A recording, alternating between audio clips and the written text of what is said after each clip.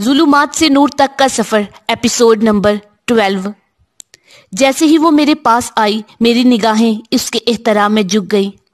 हज़ार दिल की हाहिश के बावजूद मैं नज़रें उठाकर न देख सका उसे और नज़रें झुकाए ही सलाम कहा और अपनी तेज होती धड़कनों को नॉर्मल करते हुए मैंने पूछा मम महदी महदी कैसा है?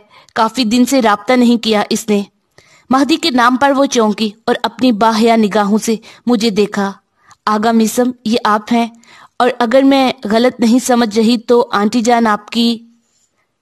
जी जी, माँ कल ही पाकिस्तान से आई हैं मेरे साथ।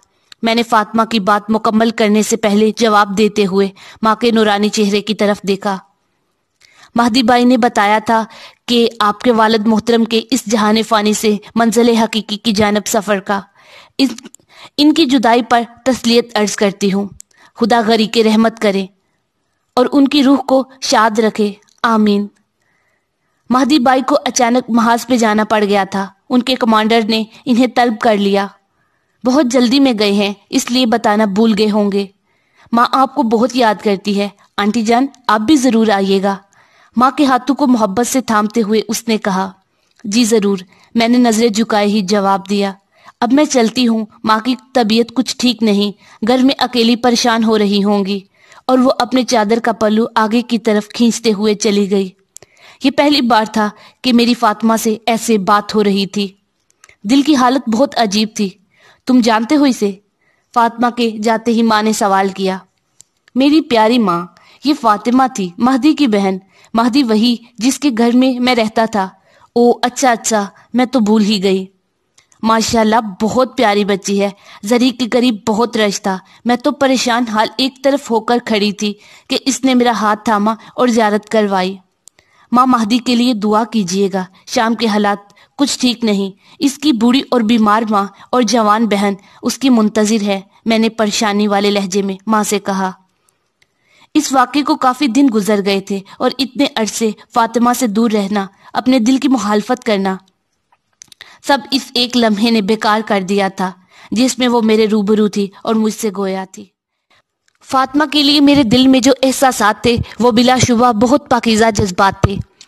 उसको नज़र बढ़ कर देखना तो दूर, नज़र उठाकर देखने की भी हिम्मत ना होती थी मुझे, कि कहीं इसकी पाकिजगी और वकार की तोहीन ना हो जाए।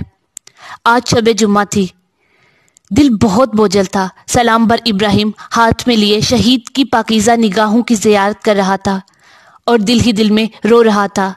घड़ी पर निगाह डाली, दवाई का मैल शुरू होने में काफ़ी वक्त था। घर से निकला और बहिश्ते मासूमा, जो शहदा का कब्रस्तान है, की तरफ़ चल पड़ा।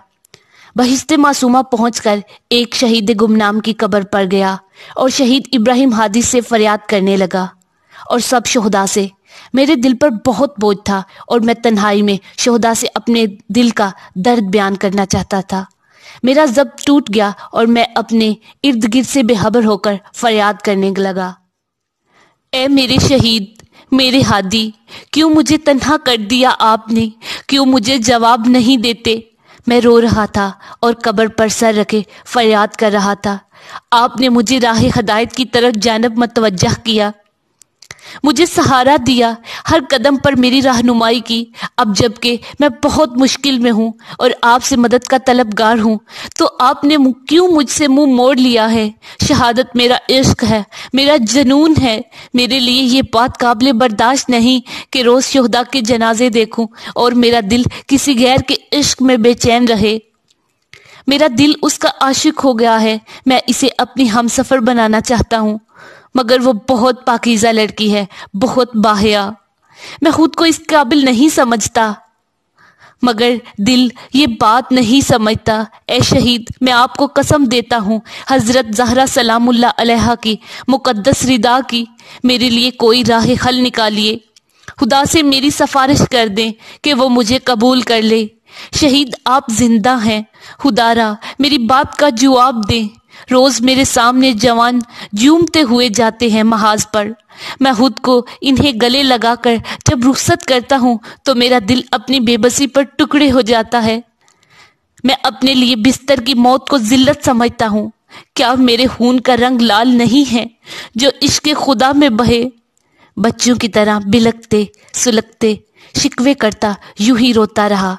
अचानक मुझे महसूस हुआ कि किसी ने मेरे कंधे पर हाथ रखा है। मैंने रोती हुई आँखों से ऊपर देखा, बेटा, मुझे माफ़ करना, परेशान मालूम होते हो। वो चौथी कब्र मेरे लहते जिगर की है, जो कि मेरा फख्र है, मेरा शहीद बेटा। मैं तो अपने बेटे के साथ महफ था कि तुम्हारी आहो फरियाद ने मुझे बेचैन कर दिया। माफ़ करना मुझे, तुम्हारी आवाज़ मुझ तक पहुँच रही थी। तुम मेरे बेटे की तरह हो। वो बुज़ुर्ग मेरे करीब बैठे और बहुत शफकत की निगाहों से मुझे देखते हुए बोले मैं ज़्यादा तो नहीं जानता, मगर शहादत का दर्स अपने बेटे की ज़िंदगी से जो सीखा है, वो ये है कि इश्क की आखिरी हद का नाम शहादत है। मगर तुम क्या समझते हो मेरे बेटे? ये एक इत्तफाक है। यदि एक शख्स महाज पर जाता है और इत्तफाक से इसे गोली लगती है और वो शहीद हो जाता है। ना, अज़ीज़ मन, ना। शहादत इत्तफाक नहीं है, बल्कि शहादत इश्क है और इश्क हर किसी को नसीब नहीं होता। जब तुम खुद मुकम्मल तौर पर खुद को खुदा के लिए हालिस कर लो तो तुम्हारा पूरा वजूद खुदाई हो जाएगा। और रजाए खुदा और इसकी लियाकत में तुम्हारा पूरा वजूद यकजुबा होकर खुदा को पुकारे और शहादत तलब करे कि जब हर वबस्तगी और कल्बी ताल्लुक खत्म हो जाए, अगर कोई तलब या वबस्तगी हो तो वो लाकाए खुदा हो। तो फिर शहादत तुम जैसे जवानों की खुद मुंतजिर बन जाती है। मुश्किल फ़कत इतनी सी है कि तुम तो शहादत चाहते हो, मगर तुम्हारा दिल की तलब कुछ और है। खुदा ने अजदवाज का रिश्ता तकमील ज़ात और तकमील इंसानियत के लिए बनाया है। क्यों खुद पर जुल्म कर रहे हो? परवाज चाहते हो?